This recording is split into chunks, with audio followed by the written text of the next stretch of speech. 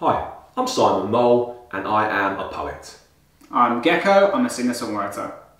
I'm sure that you've all played rock, paper, scissors before, but today we're going to be playing a game of rock, paper, anything. Anything. Anything. Anything.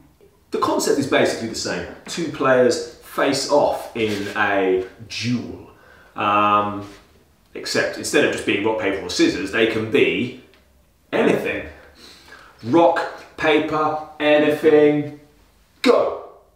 So you make a kind of sign either with your hands or your whole body of what you are. So I am, I'm a tank actually. What are you?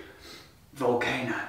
Okay, and then player one, in this case me, gets to explain why they beat what player two has got. Well, obviously I'm a tank with a high-powered gun on and I just blast the volcano up. Okay, well you blasting the volcano up just causes more lava to go onto your tank-based head. Right, okay, yeah.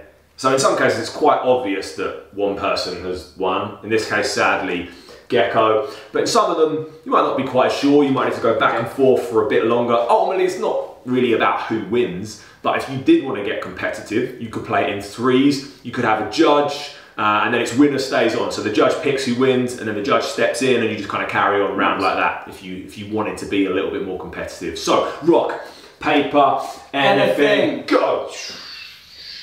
I'm a Viking battle axe. I'm a stream.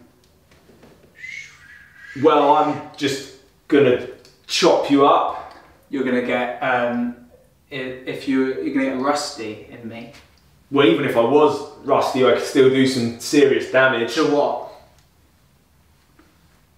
Ah, it's 2 0 to Gecko.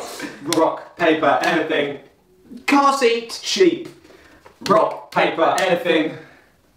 Cup of tea. A forgotten memory.